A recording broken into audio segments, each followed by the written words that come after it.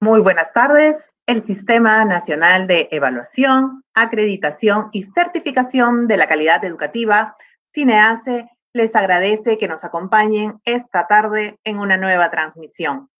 Autoevaluación, una herramienta metodológica para asegurar la calidad educativa, es el nombre del seminario internacional de esta jornada, en la que nos acompaña una experta del hermano país de México para darle la bienvenida a la doctora Teresa García López, que es nuestra expositora, y a todos ustedes que nos acompañan desde diferentes regiones del país, quiero invitar a la directora de Evaluación y Acreditación de Institutos y Escuelas de Educación Superior, Verónica Cafo Suárez.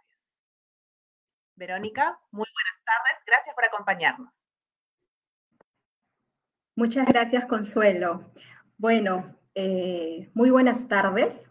Quiero darles la más cordial bienvenida a todos los que hoy se han conectado a este evento tan importante del CINEACE. Un saludo muy, pero muy especial a todos los comités de calidad de los institutos y escuelas de educación superior, a todos los docentes que hoy nos acompañan, a todos los directores, directoras, a las direcciones regionales de educación que siempre están presentes. Eh, un saludo especial desde el CINEACE. Este año, como ustedes saben, hemos eh, tenido algunos seminarios virtuales, algunos webinars. Este es nuestro tercer webinar, seminario eh, virtual. Y en este caso es un seminario internacional, porque como bien lo ha mencionado Consuelo, vamos a tener una exposición, eh, una conferencia internacional de la doctora Teresa García. Ella es investigadora y además déjenme contarles que tiene una tesis doctoral en el área de autoevaluación institucional para educación superior. Así que tiene mucho que compartir con nosotros y desde ya darle la más cordial bienvenida.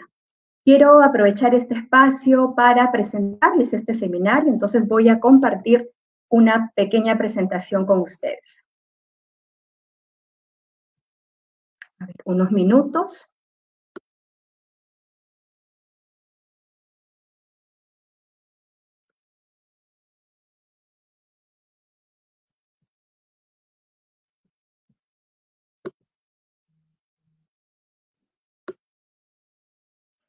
Bueno, creo que, ya estamos. Eh, este es nuestro seminario eh, internacional que le hemos puesto por nombre Autoevaluación, una herramienta metodológica para asegurar la calidad educativa. Y nosotros esta tarde eh, nos hemos propuesto tres objetivos. En principio, que podamos seguir reflexionando sobre el tema de autoevaluación y podamos comprender que la autoevaluación es un proceso y como tal termina siendo una herramienta muy importante y muy poderosa para eh, trabajar todo el proceso de mejora continua y seguir brindando un servicio de calidad. Este año hemos tenido eh, un curso virtual, ustedes recordarán, de autoevaluación en tiempo de crisis y dos conversatorios. Y en todos ellos hemos reflexionado acerca de cómo eh, incorporar un proceso de evaluación interna más en este contexto, en este contexto de crisis mundial por la pandemia del COVID-19, se ha dado pues eh, muy, se ha convertido en una herramienta muy importante y muy versátil también porque nos permite justamente desarrollar estos procesos de autoevaluación en nuestros institutos y escuelas de educación superior en periodos más cortos y nos hemos visto pues justamente eh, muy, eh, muy preparados, digamos, para poder eh, desarrollar esta herramienta de autoevaluación que la venimos trabajando años atrás, quienes están trabajando por la ruta de la calidad y con experiencias en evaluación y acreditación. Sin embargo, estos años, e, este año puntualmente hemos transitado de una modalidad presencial a una modalidad a distancia y nos hemos visto con muchos retos y con muchos desafíos. Y hemos visto cómo la autoevaluación nos ha permitido evaluar cómo han ido avanzando nuestros procesos eh, que implementamos, ¿no? Periódicamente. Hemos evaluado nuestros procesos de matrícula, nuestros procesos de admisión, nuestros procesos académicos, de gestión docente, de bienestar, y todos ellos y la autoevaluación pues se convierte en una herramienta muy valiosa para ello. Es así que nos hemos propuesto también un segundo objetivo que es reconocer la importancia de la gestión de la información para precisamente la toma de decisiones. Recordemos que la gestión de la información es una de las capacidades más importantes de la autoevaluación y hoy queremos relevar su importancia y su procedimiento. Además, quisiéramos que este seminario, este seminario internacional, nos, nos permita a todos reflexionar, es decir, que nos permita pensar y repensar acerca de cómo nos ha ido este año usando la autoevaluación, ¿Qué lecciones aprendidas nos ha dejado? ¿Qué desafíos también? Y para eso hoy vamos a poder conversar y dialogar con todos ustedes. ¿Qué temas tenemos previsto para este seminario?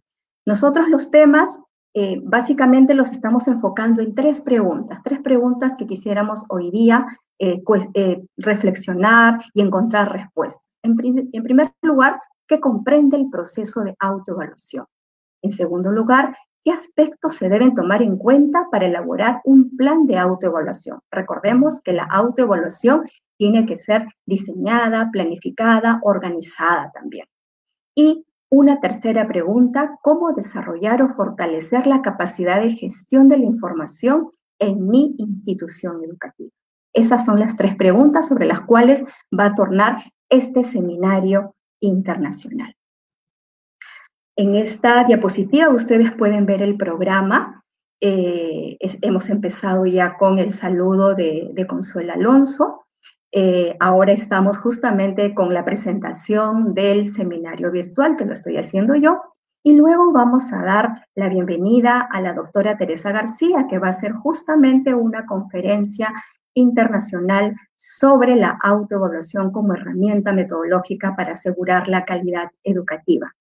Luego de esta importante conferencia, vamos a pasar a un momento de diálogo, donde les vamos a pedir a ustedes que justamente en el chat puedan colocar sus preguntas, sus inquietudes, sus dudas sobre este tema, para que eh, con la moderadora, que en este caso va a ser Maribel Pulache, que es nuestra coordinadora en autoevaluación, pueda justamente ayudarnos a que eh, se puedan organizar las preguntas y justamente la doctora Teresa García pueda darnos respuesta. Luego nos vamos a encontrar nuevamente conmigo para las reflexiones finales y para las conclusiones. Y con ello nos estaríamos pues despidiendo de este evento. Eh, manténganse conectados, que este evento va a estar yo creo muy, muy interesante. Y bueno, ahora eh, quiero darle la bienvenida oficial a la doctora Teresa García. Eh, quiero que, ella se sienta muy bien. Ella está conectada con nosotros desde el hermano país de México y eh, viene a compartir con nosotros todas las investigaciones que ella ha hecho con respecto a la autoevaluación institucional.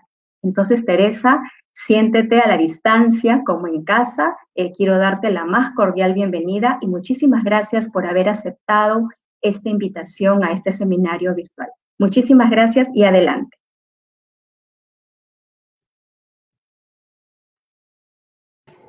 Muchísimas gracias a Verónica Cafo, nuestra directora de evaluación y acreditación de IES, por sus palabras.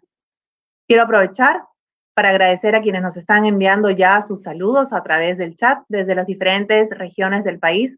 Muchísimas gracias por seguirnos y por impulsar la calidad educativa desde sus instituciones.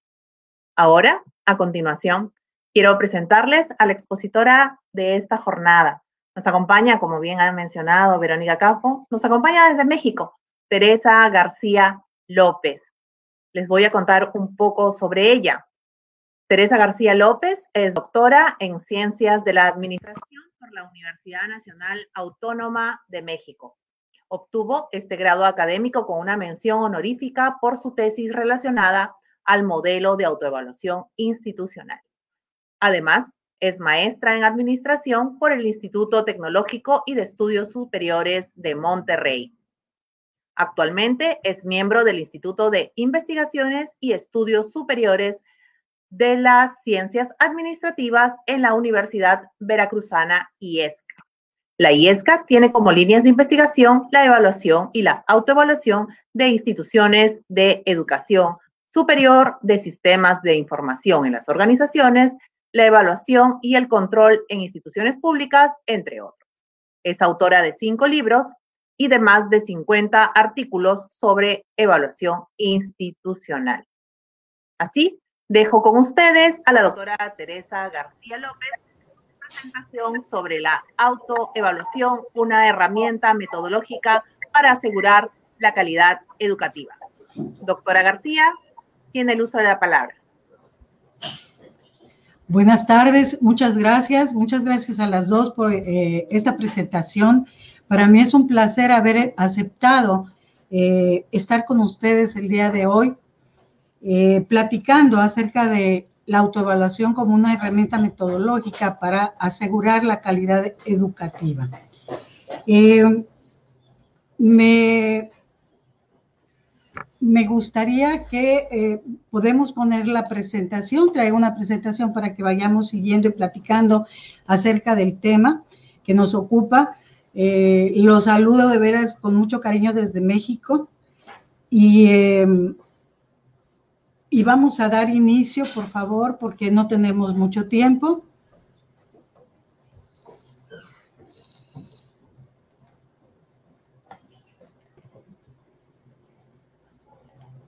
Sí, invito que puedan compartir la presentación del doctor. Ahí está. ahí está. Eh, ¿Se puede ver? Este? Sí. Adelante para que ponga su presentación. Ah, caray.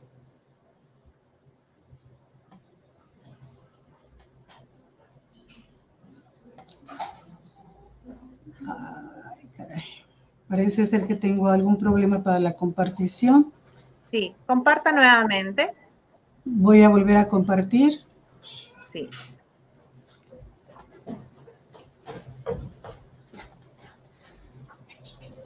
Recuerden que después de la presentación de la doctora García va a haber un momento de diálogo. Ahí le puede dar en modo presentación. Ahí está. ¿Se visualiza? Eh, no, estamos en pantalla negra. Eh, ¿Se está cargando? No sé. ¿Me salgo de A ver si le da modo presentación nuevamente. Si salga y vuelva a intentar nuevamente. Mientras va compartiendo su presentación, quiero aprovechar para invitarlos a que visiten nuestro Facebook institucional en estos días, que vamos a tener más actividades que hemos preparado para todos ustedes. Tiene que compartir toda la pantalla, doctora, por favor. Comparte toda la pantalla. Y ahí a su presentación.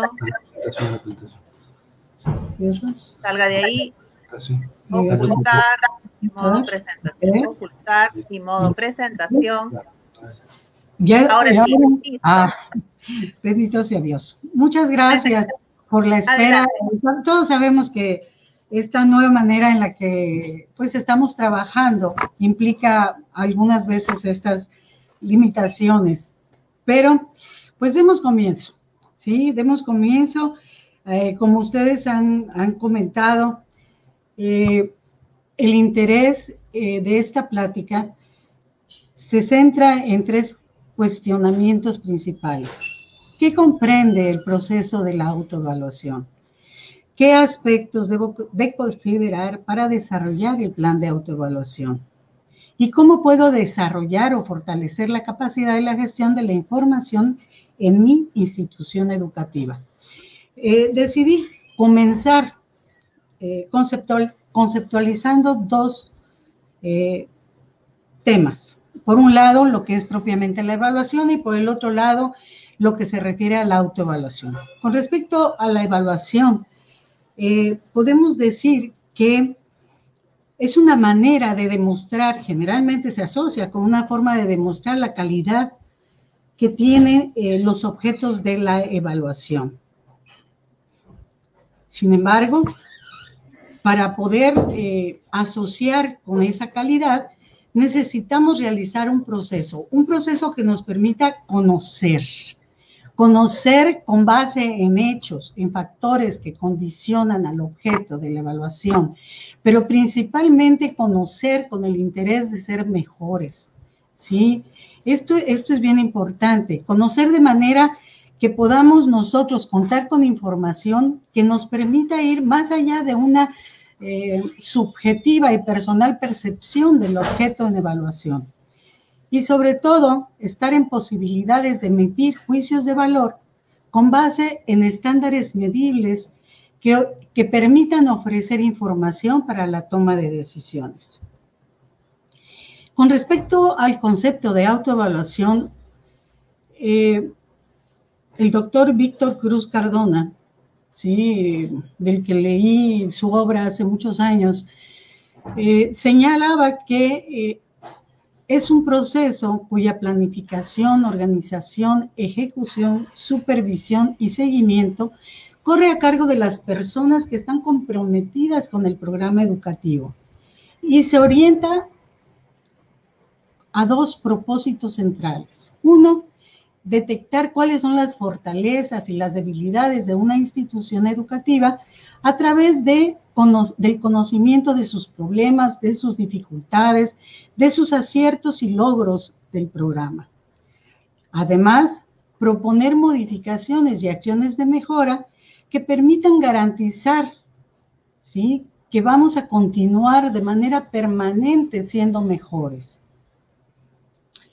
Con base en esta definición que les comento, conocí hace muchos años, pero que eh, quedó muy grabada en mí porque de ahí partí para todo lo que he trabajado, ¿sí?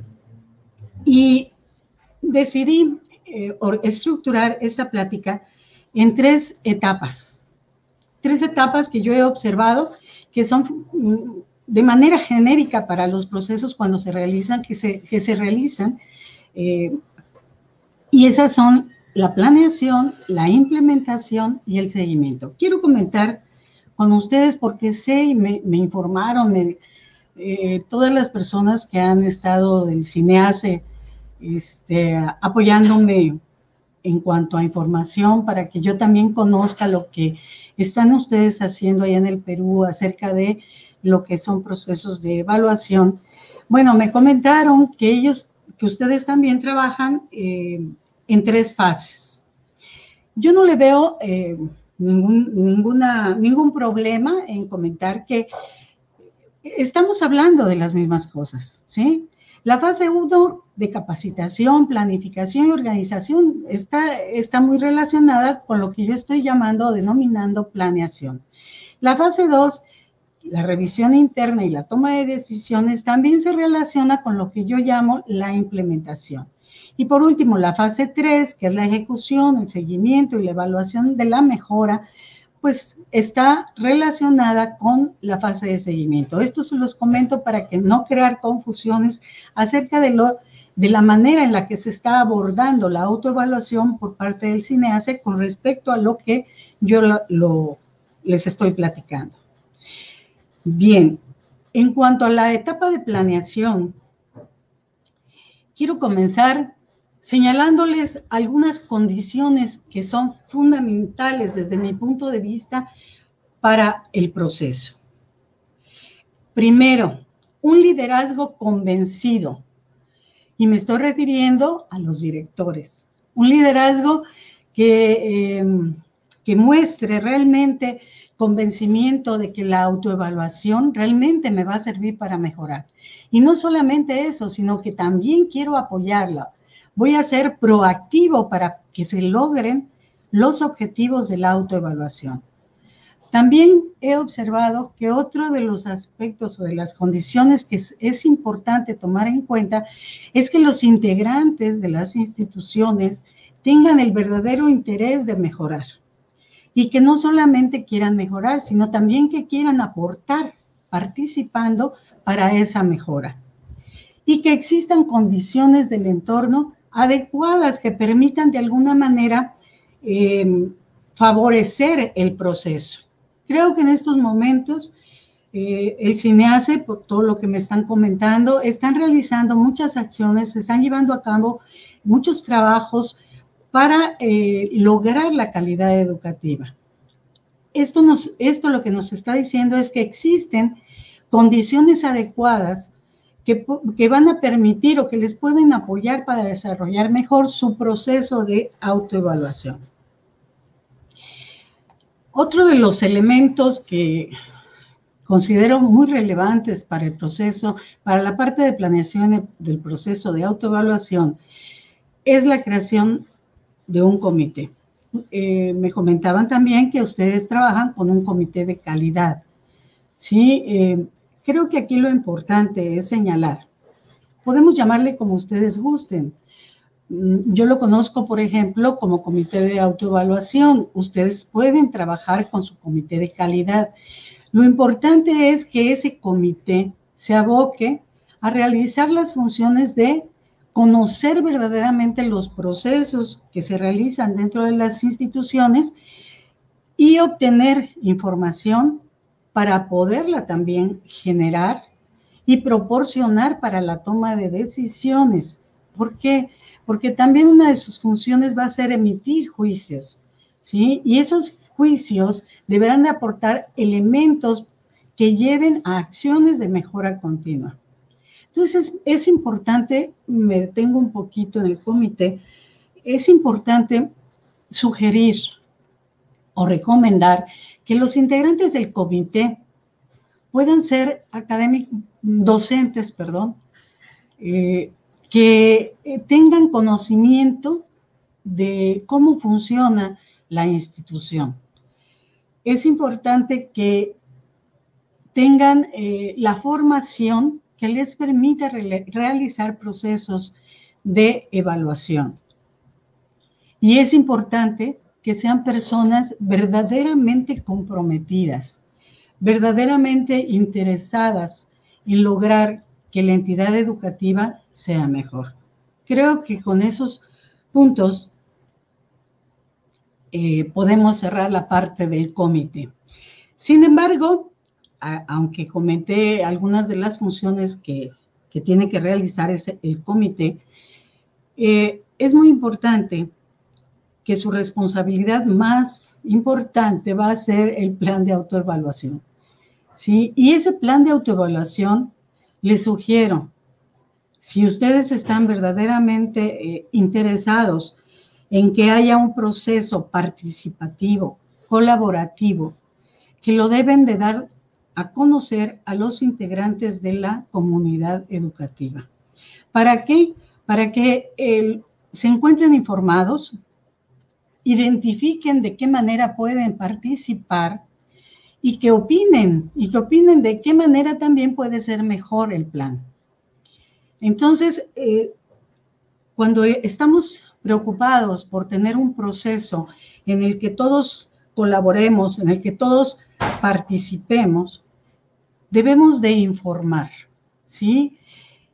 En cuanto al contenido propiamente del plan de autoevaluación, he elegido los, los, puntos que, que creo, que creí más bien, de mayor relevancia. El objetivo, el objeto, la identificación de estándares y escalas de medición, las actividades a realizar, los tiempos y los requerimientos.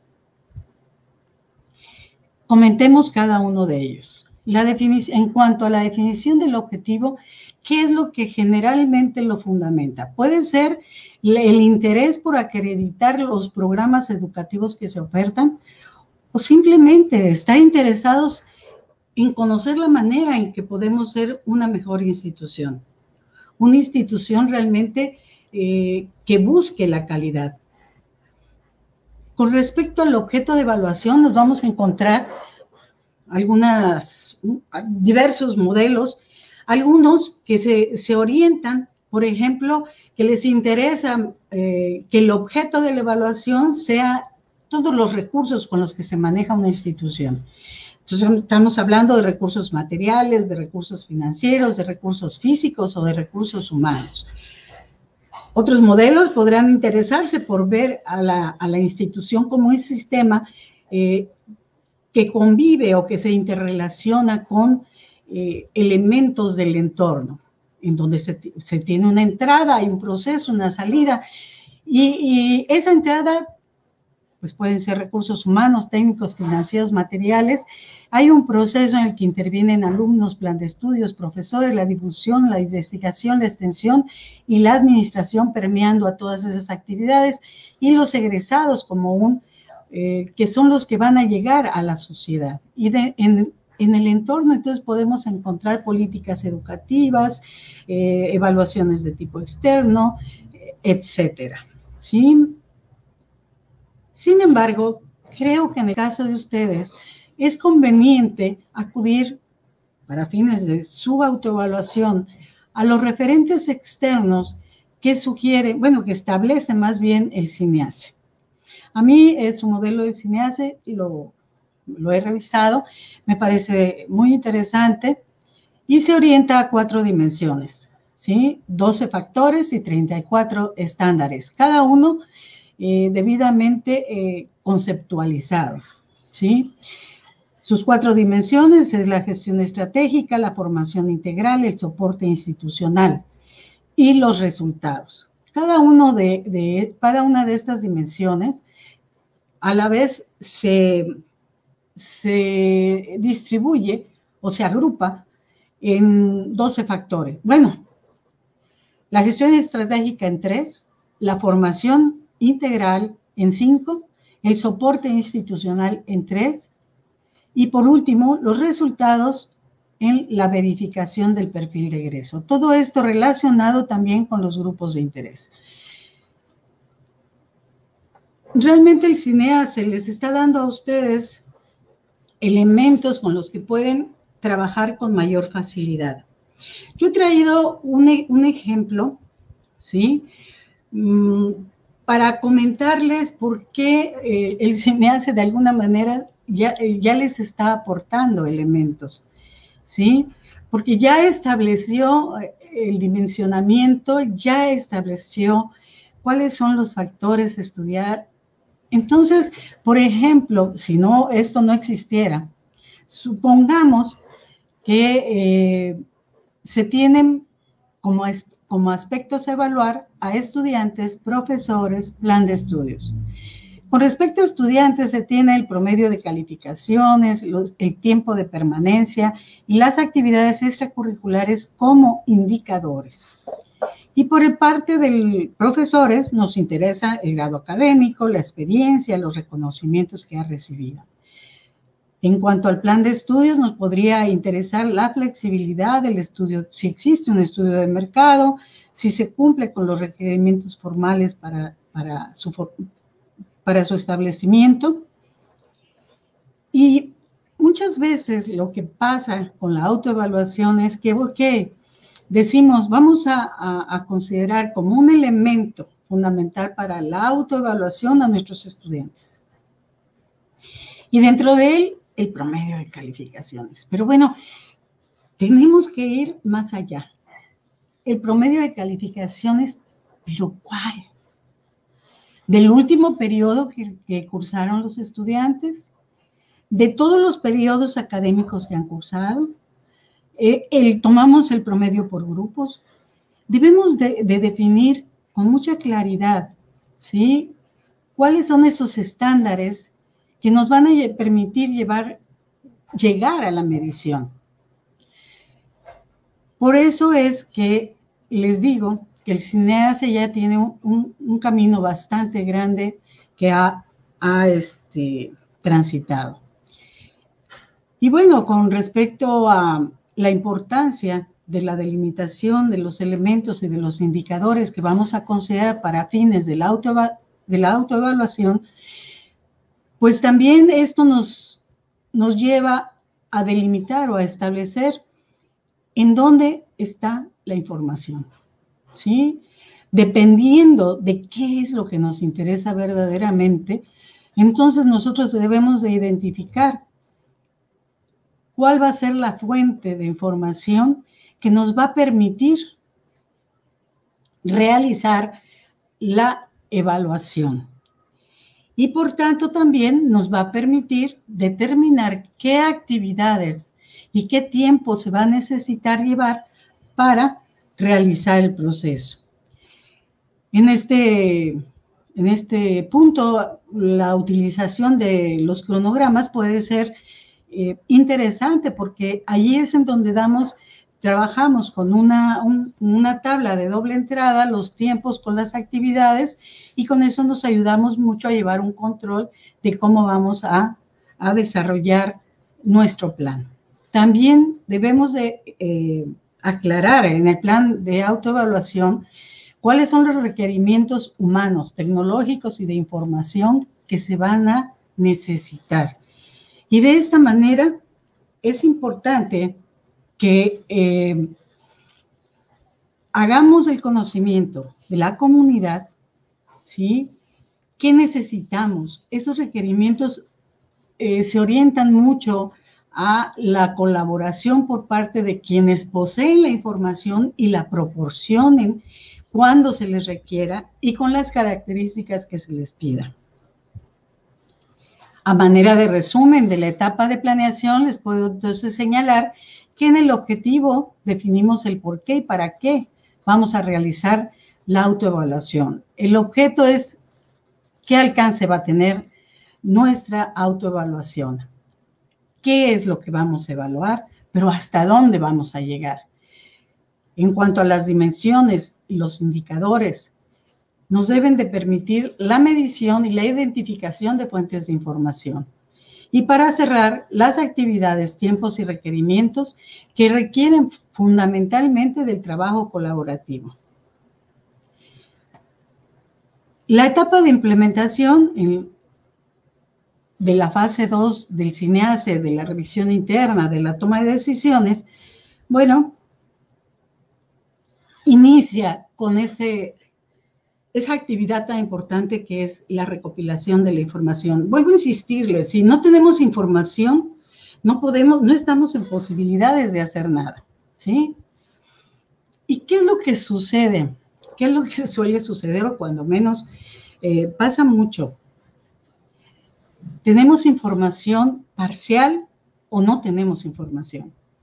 Eso es lo que hace que el comité se tenga que abocar a ver la manera de obtenerla.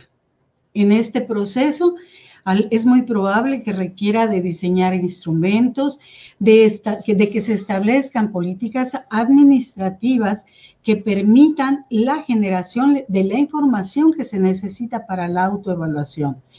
Y al, al, establecer políticas de tipo administrativo en cuanto al funcionamiento de la generación de información, es muy probable que se puedan requerir nuevas funciones para el personal que está trabajando dentro de la institución. Entonces, estas estas acciones es importante que se tomen también en cuenta y también requieren de tiempo, ¿sí? Pero cuando tenemos el apoyo de eh, líder de, la de, la institución, las cosas se hacen más fáciles, las cosas eh, fluyen de una mejor manera. Y bueno, una vez que tenemos la información, debemos de pasar a una fase de análisis e interpretación. Eh, en el ejemplo de los estudiantes, manejábamos como dimensión al estudiante y como indicador actividades extracurriculares. Eh, para el análisis y la interpretación, supóngase que se, tienen ya determinados eh, cinco criterios de medición. ¿sí? Está señalado que las actividades extracurriculares se deben de identificar en el programa, que estas actividades deben de mantenerse registradas de manera permanente, que con estas actividades que se llevan a cabo se puedan contar con estadísticas de cuál ha sido su, su resultado y que se cuente con eh, el conocimiento de qué tan satisfechos están los estudiantes acerca de las actividades extracurriculares. Y que además, los, si se evalúan los resultados, se establezcan acciones para la mejora. Entonces, esos son los criterios que me van a permitir evaluar las actividades extracurriculares. Y vean cómo estos criterios me llevan a la fuente, ¿sí? Las actividades extracurriculares se identifican en el programa. Bueno, ¿qué necesito tener? Necesito tener el programa para revisar que esas actividades existan, estén dentro del programa. Bueno, si se mantiene un registro, ¿qué es lo que vamos a necesitar? Bueno, obtener ese registro en donde se tienen eh, las actividades extracurriculares. Si necesitamos estadísticas, vamos a requerir que nos proporcionen eh, esas estadísticas que se han generado con los datos de las actividades extracurriculares. Acerca de la satisfacción del estudiante, pues los resultados, a lo mejor de algún estudio que se realiza cada vez que se termina alguna actividad extracurricular. Y bueno, y por último, las evidencias de que se establecen mejoras y se realizan acciones para mejorar. Lo otro que aquí va a suceder es, como les decía muchas veces, no se tiene, no se cuenta con toda la información. Y podríamos eh, decir que únicamente tenemos el programa y tenemos el registro. Bien, aquí entra eh, en juego, ¿sí? ¿De qué manera podemos eh, llevar a cabo propiamente la evaluación? Tenemos dos opciones. Un método de evaluar cualitativo, un método cuantitativo o hacer una combinación de ambos. ¿sí?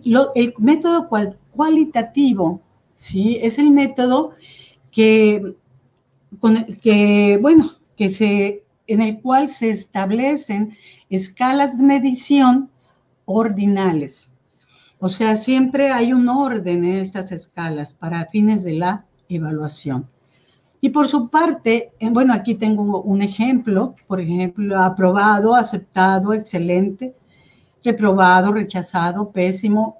O sea, son maneras de calificar cualitativas y que todas generalmente tienen un orden, ¿sí? Eh, en cuanto al al método cuantitativo. Aquí estamos hablando de la asignación de valores eh, numéricos para fines de la medición. El sistema de puntos, que es un sistema bastante conocido, es un ejemplo de este método de evaluación. En este sistema, les comento rápidamente, eh, lo, que, lo que se hace es considerar a todos los elementos evaluar con un total de puntos que se van distribuyendo de arriba hacia abajo entre indicadores, categorías, etcétera. ¿Sí? Y al final se realiza una determinación de, la, de, lo que numéricamente este, se obtiene como resultado de eh, el contar o no contar con alguna característica que es solicitada. ¿Sí? En cuanto al informe, de, al informe que puede surgir de, esta, de este proceso de implementación, podemos, podemos tener dos, situaciones. Por un lado, podemos tener un informe eh, que sea parcial. Esto es un avance de lo que se está haciendo, ¿sí? Lo comento porque también sé que eh, para fines del cine, ustedes tienen eh, el proceso, lo van eh, informando por etapas o fases. Yo lo estoy mirando desde un punto de vista general y entonces yo puedo tener aquí un informe que contenga un objetivo, que narre de qué manera realicé el, proceso hasta este momento y qué resultados he obtenido, apoyándome no solo de narrativa, sino también de elementos gráficos que faciliten la comprensión. Y también de estos resultados ya deben de emanarse algunas propuestas de mejora. Y, por, y además, otra recomendación es que siempre que presentemos un informe de este tipo, debe, debemos de acompañarlo con evidencias de lo que, de aquellos, de aquellas fuentes documentales que nos han servido para emitir nuestros juicios. Yo también manejo una etapa de seguimiento que, en la que ustedes también, o el cinease, señala como fase 3 de ejecución, seguimiento y evaluación de la mejora, ¿sí? Y de manera eh, particular, yo tomo al informe como la base o el fundamento que va a llegar a la comunidad, que es necesario hacer llegar a la comunidad para que estén enterados y para que sepan qué se ha logrado, ¿sí? Y qué hace falta hacer. Por lo tanto, con su opinión se podrá integrar un plan de mejora que debe de ser ejecutado y que, al cual se le deberá de dar seguimiento. ¿Para qué? Para retroalimentar, si es necesario, nuevos procesos de autoevaluación. En resumen, el proceso general de autoevaluación, desde mi punto de vista, inicia con ese plan de autoevaluación bajo la responsabilidad de un comité y que transita por la recopilación de información en donde se definen con claridad las fuentes y las evidencias, por el análisis y la interpretación en el que es muy importante el proceso de medición y la evaluación misma, y en el informe de resultados que debe de contener de alguna manera un diagnóstico y propuestas de mejora. Y se cierra con ese plan de mejora, que ya es la, etapa de seguimiento, en el que eh, el cual debe de ser implementado y al cual se le debe de dar seguimiento. Este plan de mejora es importante. Se deben de establecer objetivos responsables, acciones a realizar, tiempos, ¿sí? Tiempos y metas a las cuales queremos llegar.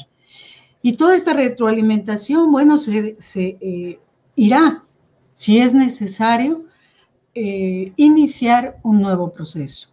Ahí están identificadas también las, las, tres etapas que yo manejo, así como las fases que eh, maneja el cineasta.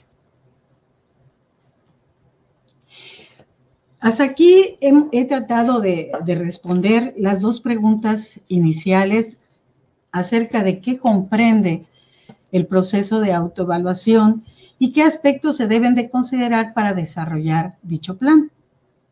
Ahora trataremos, platicaré, platicaré un poco acerca de cómo podemos desarrollar o fortalecer la capacidad de la gestión de la información en una institución educativa.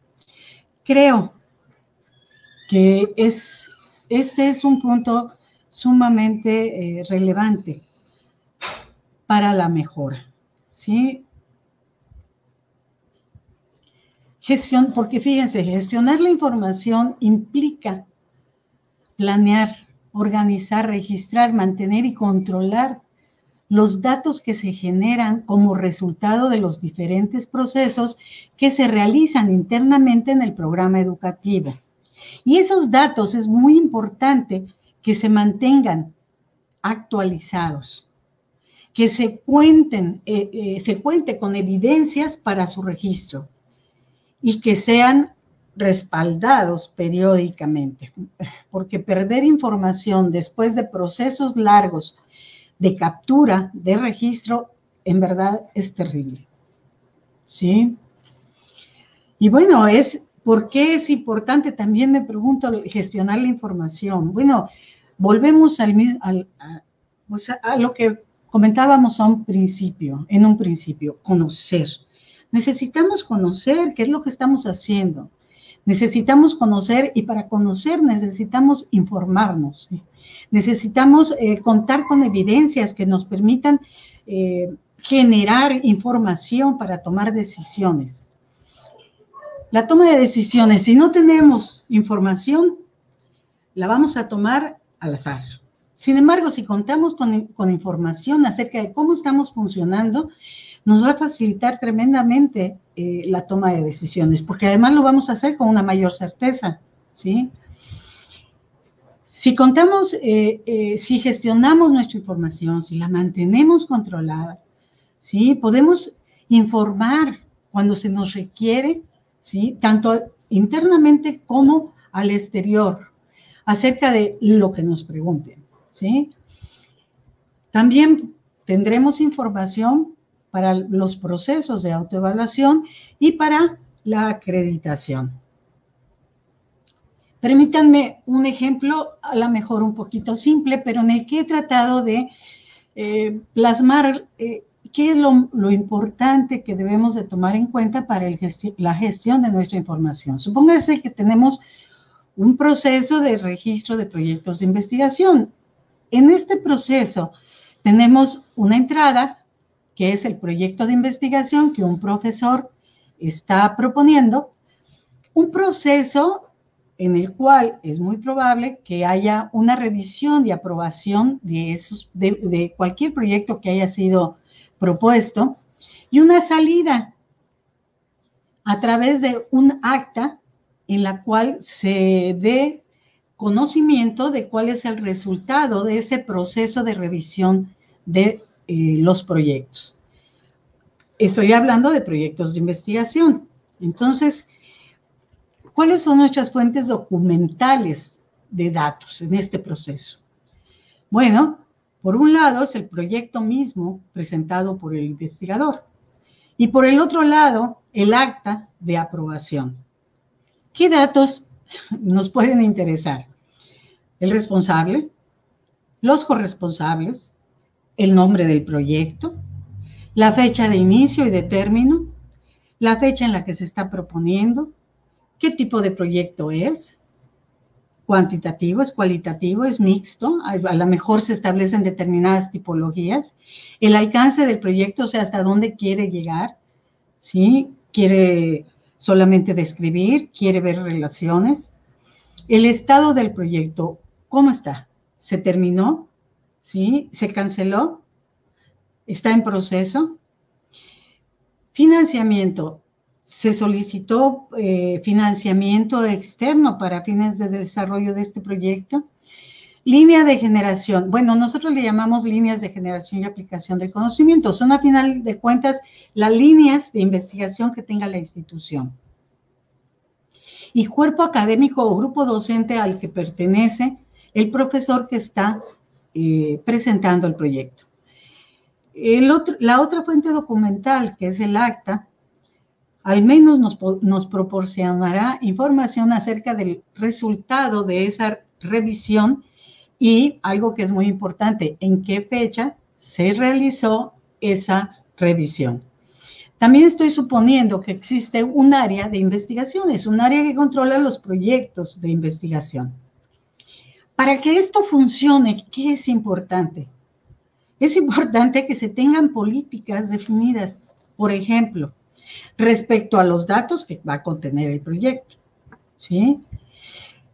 También debe haber una política. ¿Qué va a pasar cuando eh, se propone un proyecto, pasa al proceso y, se genera una salida? ¿Qué va a suceder en ese momento?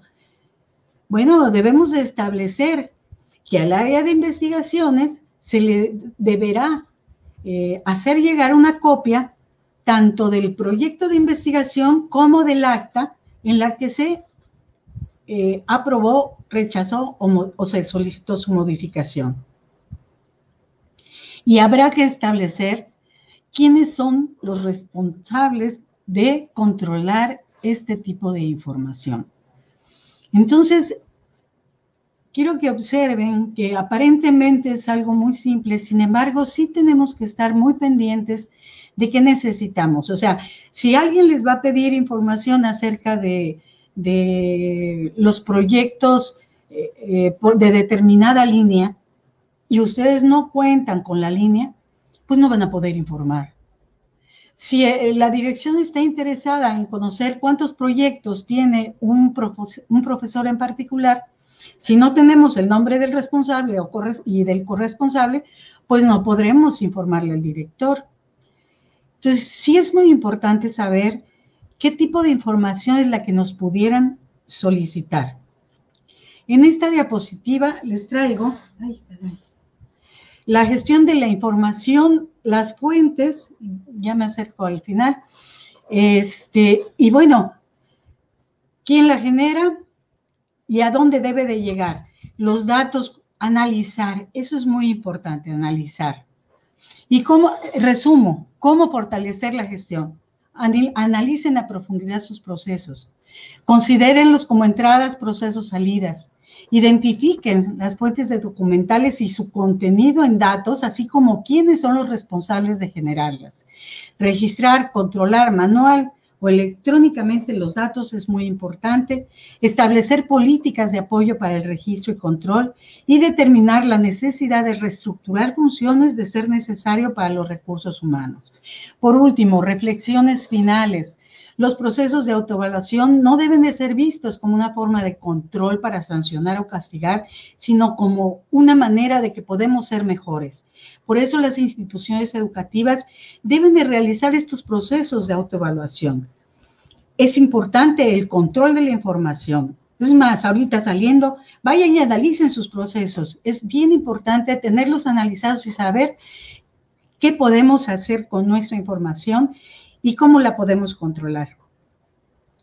Y eso sí, ningún proceso de autoevaluación va a funcionar si no contamos con el apoyo de la comunidad de la entidad eh, educativa. Es bien importante eh, crearnos un hábito permanente que nos dé, que dé lugar a una cultura realmente de la autoevaluación. Por último, destaco la importancia del director es de veras relevante porque sin su apoyo, sin el convencimiento de que la, autoevaluación es un proceso que va a generar eh, resultados favorables para ser mejores, pues el comité se va a encontrar con muchas limitaciones, tanto de tiempo como probablemente de resultados incompletos.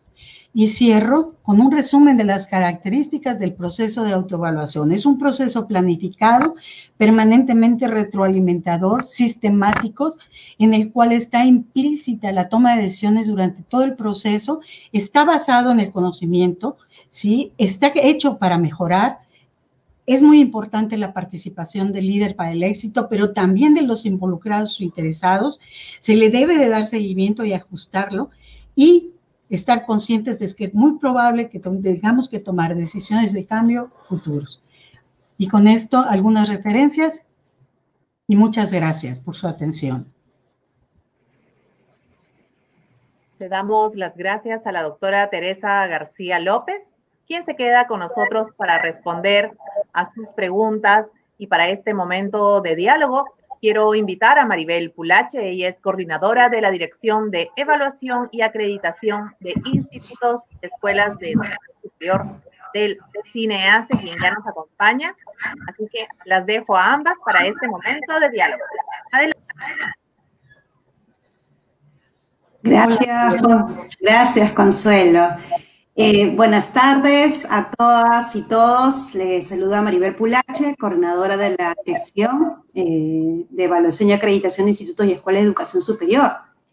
En esta oportunidad abriremos un espacio al diálogo para compartir, compartir con la doctora Teresa García nuestras reflexiones y consultas. Este espacio eh, tiene la duración de 20 minutos eh, yo sé que todos seguro tienen preguntas, eh, comentarios, reflexiones que compartir, pero en estos 20 minutos vamos a tratar de recoger lo máximo posible de, de manera aleatoria. Vamos a poder escoger las preguntas y agradecemos también por la conferencia disertada ahora por la doctora Teresa García. Nos ha comentado varios temas interesantes respecto al, a esta mirada eh, de la autoevaluación como un proceso y considerando que también implica una herramienta metodológica que requiere mucha planificación, ¿no? Más allá también de la implementación y también del seguimiento. Nosotros ya hemos visto algunos temas respecto a ello en el primer curso de autoevaluación en tiempo de crisis. Y de seguro ahora quisiéramos también compartir reflexiones, consultas con nuestra invitada. Eh, bueno, les invitamos a que puedan escribir en el chat a través del Facebook sus preguntas. El equipo de la DAI estará recogiendo todas, eh, todas sus consultas. Eh, nosotros, mientras este, estaba disertando la doctora. Hemos ya mirado algunas de sus preguntas en el Facebook, eh, algunas consultas que nos han dicho de manera espontánea durante la exposición de Teresa.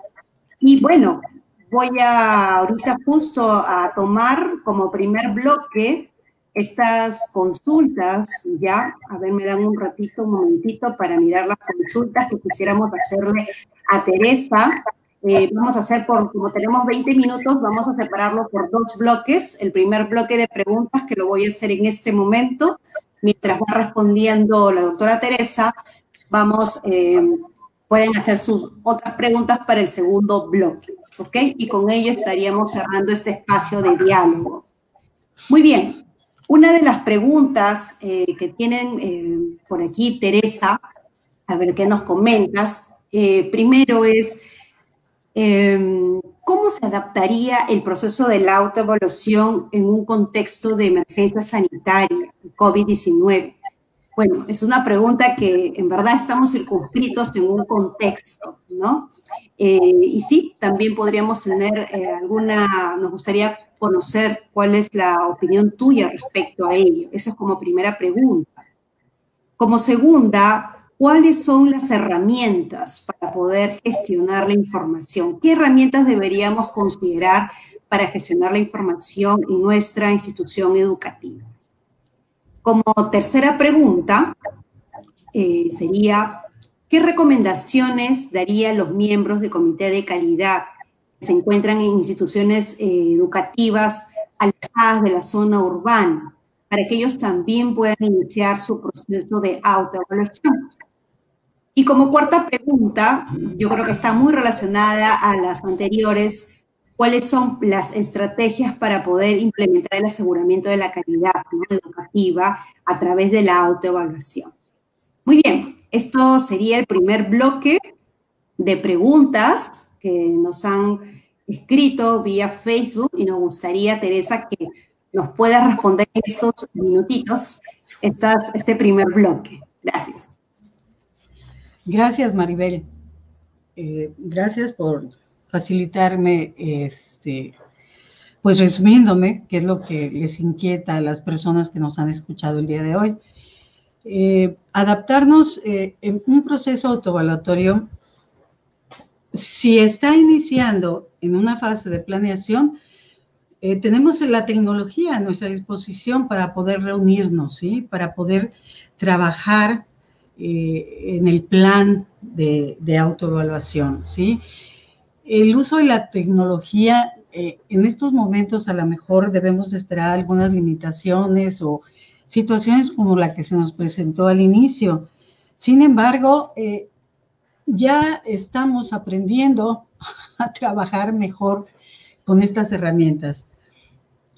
Yo recuerdo cuando comenzó esta contingencia, eh, cómo eh, pues teníamos que hacer, eh, bueno, trabajo con el estudiante, teníamos que realizar, desarrollar nuestros cursos y bueno, la tecnología ha sido un apoyo muy grande. Yo creo que en, cuanto a la autoevaluación, durante el proceso de planeación, podemos seguir trabajando de esta manera, de esta manera virtual, y podemos seguir tomando decisiones de qué manera podemos trabajar mejor.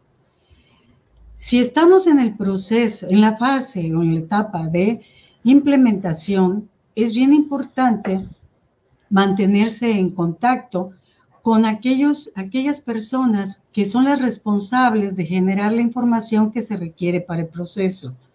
Entonces, y, usemos la tecnología, no nos queda de otra, ¿sí? Bueno, eh, solicitar la información, eh, que nos la envíen, eh, revisarla en comité, y bueno, y si nos encontramos ya en la fase pues de, de, seguimiento, tendremos que seguir colaborando para, para ver de qué manera eh, podemos llevar a cabo las, las acciones de mejora. Pero definitivamente yo creo que el apoyo de la tecnología es fundamental para continuar realizando procesos autoevaluatorios, ¿sí? Con respecto a cuáles son las herramientas, bueno, miren, nosotros, eh, en mi caso en particular, en nuestro caso, nosotros transitamos de un modelo de autoevaluación, ¿sí?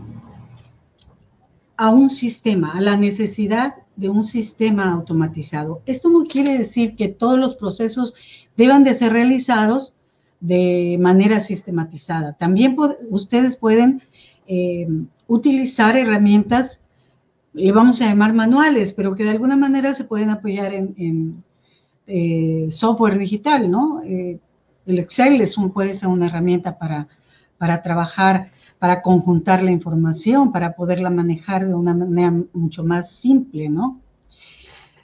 Pero el desarrollo de un sistema eh, de autoevaluación es, eh, en mi experiencia, ha sido complejo. Ha sido difícil porque todos los elementos que nosotros manejamos se interrelacionan. Y nosotros tenemos eh, integrado al sistema es, no solo datos, sino inclusive las evidencias de esos datos. Entonces, eh, nuestra política, para que vean que sí son necesarias las políticas y si se, llevan a la, bueno, a la norma, pues es mucho mejor. Pero nuestra política es, nada se registra si no se cuenta con una evidencia. Entonces, eso es bien importante porque nos permite siempre estar respaldando lo que se está haciendo. ¿Sí? Híjole, con respecto a las, a las zonas urbanas, yo creo que mm, tendrán que realizar el mismo proceso. Yo pienso que es muy probable que ellas tengan que tomar en cuenta su entorno, ¿sí? Pero de que pueden realizar el proceso de, autoevaluación, lo podrán hacer, porque nosotros vamos a autoevaluar lo que nosotros hacemos y lo que nos interese, y con base en nuestra experiencia, que deba de ser considerado para la evaluación. Los referentes externos, como es el caso que ahorita nos ocupa, son excelentes, pero ustedes pueden tener también referentes que surjan de la misma comunidad y por eso se le llaman referentes internos. Y entonces a lo mejor ustedes también van a estar en posibilidades de evaluar aquellos elementos que realmente eh, tengan que ver con su manera de trabajar. Entonces, además de cumplir con aquello que nos requiere la acreditación, habrá que eh, definir la manera de trabajo de acuerdo con las condiciones en las que se, se está trabajando. ¿Sí? Las estrategias, en cuanto a las estrategias, para asegurar la calidad educativa, creo que la autoevaluación es una de ellas y es muy importante. la, y fíjense que es importante porque en verdad nos lleva a, pensar qué estamos haciendo mal y cómo lo podemos mejorar. Eh, conocer nos permite nos da esa ventaja. Contar con información para podernos evaluar también nos da esa ventaja. Por eso es tan importante la información. Bueno, por eh, ¿alguna otra pregunta? Espero les haya, haya respondido la, pregunta, haya sido clara. ¿Sí, Maribel? Sí, muchas gracias, eh, Teresa. Efectivamente, interesante porque resaltas eh, bastante el tema del respaldo de la información, del registro y de la evidencia, que es muy importante para este proceso. Eh, tengo aquí un grupo de preguntas que también eh, me han estado, estoy revisando y también enviando. Hay algunas preguntas que son muy parecidas está el equipo de la DAIS, ahorita está casualmente sistematizando las preguntas Y bueno, vamos nosotros eh, a recoger ahorita algunas de estas preguntas. Me dan por favor unos, unos segundos. Por favor, unos segunditos para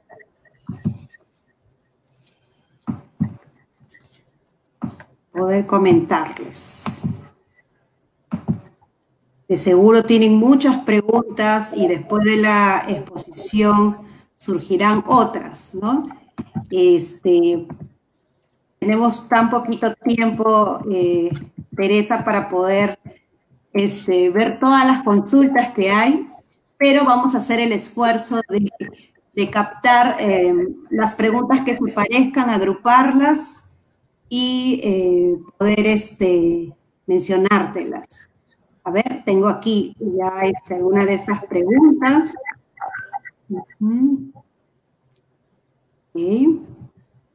La primera pregunta es respecto al liderazgo. Interesante. Durante el proceso de autoevaluación, ¿cómo, qué, qué opinión podrías darnos respecto al liderazgo? Este, tal vez es solo centralizarlo con el director, qué se necesita también de los líderes para poder llevar a cabo este proceso de autoevaluación. Esa es una de las preguntas. Otra de las preguntas es em, en cuanto al comité de calidad, ¿no? Eh, em, Sí, ¿cómo se podría motivar a los comités de calidad ¿no? en estos tiempos de pandemia? Este, ¿Qué debemos recordar siempre respecto al comité de calidad, ¿no? respecto a su rol y sobre todo, bueno, en este contexto complicado que eh, mundialmente nos, nos ha afectado? ¿no? Eh, esa es la segunda pregunta. Un ratito, por favor, vamos con la tercera. Si nos puedes dar algún ejemplo de cómo obtener los datos en alguno de los procesos y medirlos de manera cualitativa o cuantitativa.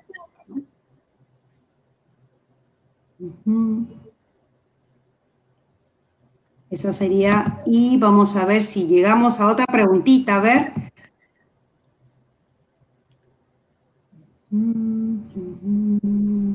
Ya. ¿Qué actividades se deben desarrollar para llevar a cabo el proceso de autoevaluación, sobre todo eh, también en el escenario virtual, ¿no? Este, el tiempo que se realiza, las actividades en, un escenario virtual, ¿ok? Este, cómo hacer que sea confiable toda la data, la información que se está recogiendo de manera virtual. Muy bien, con eso cerraríamos entonces estas preguntas, este, Teresa, para escucharte. Te escuchamos. Muchas gracias, Maribel, nuevamente. Híjole, si observaron, cerré, cerré mi, mi plática precisamente con la importancia del líder, entendiendo al líder como el director de la institución. ¿sí? Eh, para que las cosas eh, se hagan, muchas veces necesitamos del apoyo de el líder, ¿sí? Y muchas veces habrá a lo mejor personas que no, no acepten con mucho agrado estar proporcionando información de, lo que ellas están controlando o de lo que ellas están generando. A veces es un poco el tratar de, por eso la importancia de hacer participativo el proceso, por, eso la importancia de que se, se tome en cuenta la opinión de la comunidad. A lo mejor no vamos a tomar en cuenta exactamente todo, pero los escucharemos. Como comité, y eso está referido también al, a la segunda pregunta, este, necesitamos escucharlos y necesitamos informar, hacer de su conocimiento. Cuando, cuando nosotros de veras eh, realizamos procesos participativos, la gente colabora, las personas colaboran, tienden a colaborar. Podemos encontrarnos casos que no. Y ahí es cuando entra eh, la importancia del líder. Ahí es cuando es necesario que el líder pues nos dé ese empujoncito que nos, eh, en el cual le diga a esa, esa persona que colabore. Él, él, es parte de la motivación que, que, se debe de generar para todos los que integran la, la comunidad. ¿sí? Por eso es tan importante el liderazgo. Y, y hay, hay, otra cosa que debemos de tomar en cuenta. En, en, nuestras instituciones, los líderes cambian, ¿sí? Y cuando entran nuevos líderes, allí es, es nuevamente el proceso de hacer, hacerle comprender la importancia de autoevaluarse para poder mejorar, ¿sí? Cualquier proceso de autoevaluación que no, no, no, termine o no genere propuestas de mejora es algo inútil, algo que no va a servir. Entonces necesitamos tanto del apoyo del director para que se realice correctamente el proceso, para que sea más fácil, para que eh, fluya de una manera, de una mejor manera. ¿Sí? Y además vamos a necesitar que los integrantes del comité estén, estén realmente comprometidos, que realmente estén enganchados con lo que están haciendo. Sí, por eso les decía de la recomendación de que las personas que sean integrantes del comité sean personas identificadas con la entidad, ¿sí? Sean personas que realmente estén comprometidas e interesadas en que nuestra institución puede ser mejor y que para mejorar vamos a conocer cómo estamos, analicemos nuestra situación actual y después seamos mejores, ¿sí? Con esa información. Fíjense que acerca de la pregunta de cómo un ejemplo de obtención de datos,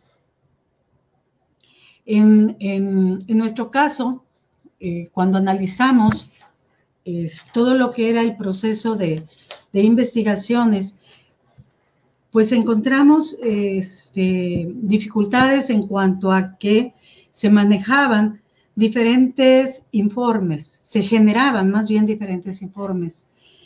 Y eso nos llevó a hacer un análisis más profundo de la parte de investigación.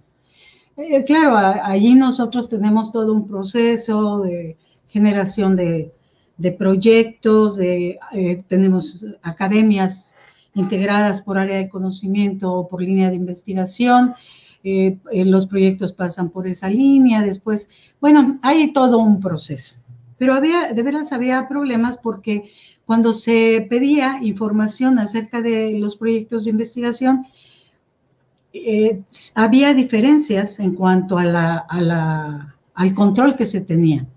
Entonces se tuvo que analizar con profundidad el proceso, por eso eh, señalo tanto la importancia de conocer realmente lo que se está haciendo, conocer nuestros procesos, porque de allí se puede desprender que podamos identificar en dónde se encuentra el problema. ¿Por qué se estaba generando información diferente? ¿Qué esta fuente que estaba utilizando, esta otra fuente que está utilizando? y de ahí tratar de conjuntar que las dos fuentes fueran similares. Entonces, eh, obtener eh, los datos representa también analizar de dónde provienen y cómo podemos eh, uniformar su registro. Porque si empezamos a, pedir que se registre en un lugar, que se registre en otro, va a empezar a haber duplicidad en la generación de los datos. Entonces hay que tener cuidado con esa duplicidad. Y bueno, la otra pregunta se refería a, las actividades virtuales. Perdón, Maribel. Bueno, y en cuanto a la confianza, bueno, yo creo, yo creo que este, nuevamente el apoyo tecnológico y tenemos que aprender a confiar. Tenemos que aprender a confiar. ¿Por qué, em, necesitamos informar? si yo realizo un curso, si yo voy a, un congreso, si yo eh, eh, publico un libro, si yo genero alguna, un producto y no lo, no lo doy a conocer, ¿de qué manera podemos nosotros ver si estamos trabajando adecuadamente la producción de nuestros docentes? O sea, los, lo que nosotros produzcamos debe de ser conocido. Como se dice luego comúnmente, debe ser socializado. Pero aquí debemos de, tener muy claro a quién se le va a hacer llegar esa información y, concentrarla bajo un mismo responsable. En nuestro caso, otra vez, se, se creó un área en donde eh, se tienen a dos personas dedicadas para el registro de información bajo un responsable.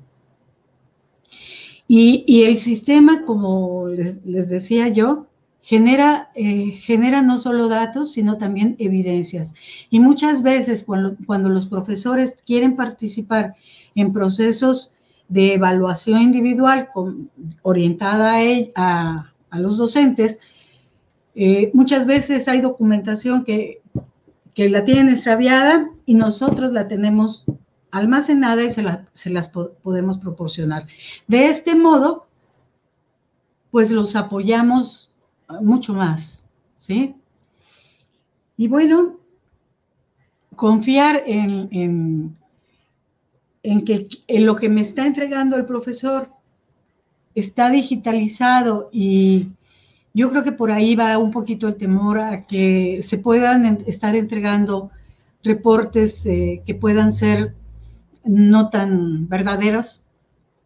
Eh, la utilización de, la digitalización para fines de documentación, pues es, es, este, es en estos momentos muy relevante porque si nosotros queremos tener eh, las evidencias de las cosas tendremos que requerir que nos manden esas evidencias digitalizadas. No podemos tener eh, las copias y cotejarlas contra un original en estos momentos, pero lo podremos hacer regresando. No, no, no, tarde que temprano tenemos que regresar a nuestras actividades normales. Espero haberles contestado sus, sus dudas y he sido clara en cuanto a las respuestas. Muchísimas gracias, Maribel. Muchísimas gracias por la invitación. Quiero cerrar de veras agradeciendo este, pues, la oportunidad de platicar acerca de algo que me apasiona, que es la evaluación. Eh, tengo casi 10 años con, que comencé con nuestro primer proceso y, este, y bueno, seguimos trabajando con, con nuestro sistema. ¿sí? Cada vez tratando de que, de que sea mejor para generar más información. Por eso me apasiona que, les diga yo, de veras, controlen su información. El control de la información les va a dar muchísimas ventajas. Los va a hacer más competitivos y los va a hacer mejores. Gracias, Maribel. Gracias. Muchas gracias. Muchas gracias, Teresa. Muchas gracias por tus palabras, por todos estos conocimientos eh, que nos has podido transmitir, compartir. Eh, tienes este, todos los conocimientos, tu tesis doctoral tiene también toda la trayectoria de la investigación que has hecho respecto al proceso de la autoevaluación y además también tienes toda esta experiencia, no solamente en el campo teórico, académico, sino también en la misma implementación en la institución educativa donde tú has trabajado, tú misma has podido evidenciar, vivir el día a día el proceso de autoevaluación implementado en tu institución educativa. ¿Verdad? Muchas gracias. Eh, yo quiero agradecer eh, también las consultas, los comentarios, las reflexiones de todos los que han estado presentes en este evento. De seguro, em, me comprenderán que solo teníamos un bloque de 20 minutos, eh, así que hemos elegido las preguntas este, de manera aleatoria, la hemos estado agrupando. Eh, vamos a compartir esta información para que ustedes también la puedan eh, leer después de manera un poquito más, más tranquilo, una lectura más profunda tal vez, les va a ayudar muchísimo. Quiero aprovechar este espacio también para dar la bienvenida al segundo curso de capacitación 2020, preparado por la DAIES. Este curso eh, está dirigido a los institutos y escuelas de educación superior. El primer curso de capacitación, como bien saben, eh, los programas de estudios que, que se inscribieron en el curso, que han participado, han podido llevar el primer curso de capacitación. Y ahora, en el segundo curso, vamos a llevar algunos otros temas respecto al proceso de autoevaluación. Recordemos que en el primer curso eh, abordamos la fase 1 del proceso de autoevaluación, en donde revisamos los cuatro estadios. Y para el segundo curso abordaremos la fase 2 y la fase 3 del proceso relacionado a la valoración y socialización de resultados, así como también el diseño, la evaluación y el seguimiento de los planes de mejora. Esta sección lo vamos a ver nosotros casualmente en este curso, en el módulo 1, cómo elaborar planes de mejora y en el módulo 2, cómo ejecutar, evaluar y dar seguimiento al plan de mejora. Este curso durará cuatro semanas. El módulo inicial y el módulo 1 comprenderán las dos primeras semanas y el módulo 2 y módulo de conclusión comprenderá las dos siguientes semanas. Bueno, les deseamos éxitos este, para el curso y también para todos los que nos han acompañado en este evento, en este seminario internacional. Eh, agradecemos a la doctora Teresa por su presentación. De seguro, esta información con nuestra institución educativa y bueno, vamos a reflexionar mucho de qué aspectos hay que considerar para seguir fortaleciendo nuestras capacidades de autoevaluación. Muy bien, a continuación este, doy la posta a Consuelo para continuar con la programación del evento. Muchas gracias. Sí, bueno, reiteramos nuestro agradecimiento a la doctora Teresa García López, quien nos acompañó en este seminario internacional con el tema autoevaluación, una herramienta metodológica para asegurar la calidad educativa. Ahora para reflexionar sobre los desafíos y aprendizajes en la implementación de la autoevaluación, invito nuevamente a nuestra directora de institutos y escuelas de educación superior del CINEACE, Verónica Cafo Suárez. Ya se está conectando. Muchas gracias, Consuelo. sí, ya estoy. Muchas gracias, Consuelo. Eh, qué interesante, de verdad, eh, todo lo que hemos podido reflexionar esta tarde gracias a esta conferencia que nos ha brindado la doctora Teresa García. Muchísimas gracias porque de verdad que hemos podido eh, remirar y reflexionar acerca de qué tan potente es el proceso de autoevaluación y cómo creo que la doctora Teresa nos está dejando bien claro acerca de cómo este proceso de gestión de la información es uno de los elementos claves, es el pilar más importante al cual hay que dedicarle mucho tiempo y esfuerzo. Eh, muchísimas gracias, de verdad.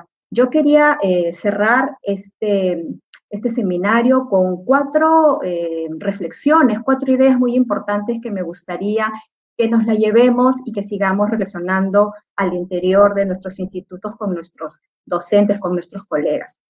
Una primera eh, idea, yo creo importante, es que hoy estamos eh, reafirmándonos en que la autoevaluación es un proceso, eh, que es una herramienta metodológica importante para la mejora continua.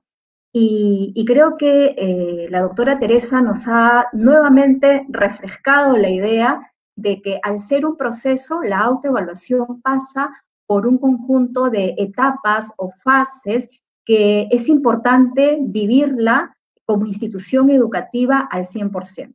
Ella nos dice, no es que de frente empezamos a hacer una autoevaluación, sino que es importante el momento de la planeación, que es importante diseñar nuestra autoevaluación, que es importante organizarnos para esta autoevaluación. Y luego cuando ya pasamos este momento de implementación propiamente dicho, propiamente dicha de la autoevaluación, qué importante es este proceso de recojo de información de manera participativa, donde se ponen en juego un conjunto de técnicas, de instrumentos, pero este, este otro momento importante que es no solamente el de procesar la información, sino de poder analizarla en conjunto para implementar planes de mejora, ¿no? Planes de mejora que nos lleven a tomar mejores decisiones y a mejorar cada vez más nuestro servicio educativo. Precisamente hoy en día que estamos con un conjunto de retos y desafíos, pero hemos avanzado, hemos avanzado. Conversábamos con algunos docentes de los institutos y decíamos, nuestros procesos no son iguales que como nos cogió la pandemia, ¿no? Nuestros procesos de gestión de docentes, de admisión, de matrícula, de gestión curricular, de la gestión académica, eh, se presentaron de una manera en marzo, abril, mayo y hoy en octubre se han ido perfilando un poco mejor al haber transitado a esta modalidad a distancia que nos ha generado un conjunto de retos. Pero hay otra etapa importante que nos señala la doctora Teresa, que es la etapa de seguimiento, de seguimiento, de control del proceso, que a veces descuidamos esta etapa porque decimos, ya estoy haciendo mi autoevaluación, ya hice mi plan de mejora, ya lo estoy implementando, pero creo que eh, eh, hoy en día sabemos que hacer seguimiento y monitorear nuestros planes de mejora eh, es muy, muy importante. Una segunda idea sobre las cuales ya hemos venido trabajando en eventos anteriores es que no hay forma de hacer autoevaluación si no lo convertimos en un proceso participativo, en un proceso en el que no solamente esté involucrado el director o la directora del instituto o estos docentes que siempre están trabajando y dando a veces más horas de sí, o solo el comité de calidad, no funciona la autoevaluación. La autoevaluación funciona, como bien lo dijo la doctora Teresa, cuando hay involucramiento, cuando hay compromiso de todos y cada quien desde el rol que asume hoy en día en la institución educativa. Y eso nos ayuda a tomar mejores decisiones también en beneficio de todos. Una cuarta idea tiene que ver con las capacidades. Yo creo que ya estando a estas alturas, ya 26 de octubre del 2020, eh, todos los institutos que han desarrollado y que han continuado desarrollando procesos de autoevaluación, eh, nos damos cuenta de que hemos fortalecido muchas capacidades, pues ya no somos los mismos que al inicio. Hemos eh, fortalecido esta posibilidad del aprendizaje continuo, que sabemos que siempre podemos hacer las cosas mejor, que siempre nuestros planes de mejora son perfectibles. También hemos fortalecido capacidades relacionadas con la responsabilidad colectiva, ¿sí? Y una tercera capacidad que hoy día eh, la doctora García ha hecho como un zoom es a esta capacidad que tiene que ver con la gestión de la información. Hoy en día hemos vivido muchas experiencias sobre la gestión de la información. Yo creo que todos los, los comités de calidad podrían contar tantas experiencias de cómo han venido recogiendo información rápidamente, han aplicado entrevistas, encuestas, han procesado información, se han sentado, bueno, sentado es un decir, se han conectado virtualmente todo el comité de calidad y los docentes para discutir de cómo los alumnos, los estudiantes están recibiendo el servicio educativo, qué respuestas hay de ellos, qué dificultades hay. Y seguramente hemos hecho pues un análisis allí profundo. Entonces, hemos aprendido muchas cosas cuando hablamos de gestionar la información. Yo creo que eh, la doctora Teresa eh, nos está eh, retando a que tratemos de especializarnos un poquito más en lo que es la gestión de la información, ¿no? Ella nos ha hablado eh, de que hay que, esta gestión de la información hay que planificarla, hay, tenemos que organizarnos, tenemos que registrar los datos adecuadamente, tenemos que hacer un trabajo de mantenimiento de estos datos que vamos registrando y sobre todo tener estos mecanismos de monitoreo y de control que nos va a permitir que esta información que vamos recogiendo no se convierta en una información obsoleta o que ya no es útil para este momento. Y para ello ella nos ofrece todo este enfoque de procesos también, ¿no? Entonces, bueno, eh, nos estamos fortaleciendo cada vez más, vamos avanzando cada vez más y siempre nos vamos retando a poder hacer las cosas mejor. Por todo ello, eh, quiero a nombre del CINEACE dar un agradecimiento muy especial a la doctora Teresa García. Muchas gracias por eh, permitirnos poder conectarnos virtualmente, eh, poder aprender de todas sus experiencias. Muchas gracias también por haber absolvido todas las consultas, las preguntas, las dudas. Eh, como dijo Maribel, seguramente han habido muchas más. Abriremos en adelante seguramente otros espacios de diálogo, pero creo que ha sido muy enriquecedor las ideas que hoy se, se han transmitido y eh, la forma como eh, la doctora Teresa, con tanta naturalidad, sencillez, ha podido eh, responder las preguntas y sobre todo compartir su experiencia, que creo que es lo más valioso. Muy buenas noches, un agradecimiento especial al nombre del CINEACE para la doctora Teresa y para todos los docentes, los comités de calidad, los especialistas de las direcciones regionales de educación que hoy se han conectado con nosotros a través del Facebook. Muchísimas gracias y hasta una siguiente oportunidad. Buenas noches, muchas gracias. Muchísimas gracias a Verónica Cafo por estas palabras finales y gracias a todos ustedes por habernos acompañado esta tarde en una transmisión más del Cineace. Recuerden que la presentación del día de hoy de la doctora Teresa García la van a poder encontrar el día de mañana en nuestra página web gov.p slash cineace y también en nuestro Facebook institucional. Nos despedimos, pero esperamos que nos siga acompañando a través de nuestras redes sociales para conocer más sobre las actividades que tenemos preparados para ustedes. Recuerde, cuídese y cuide a los suyos y si sale de casa, lleve su mascarilla. Hasta pronto. Muchas gracias.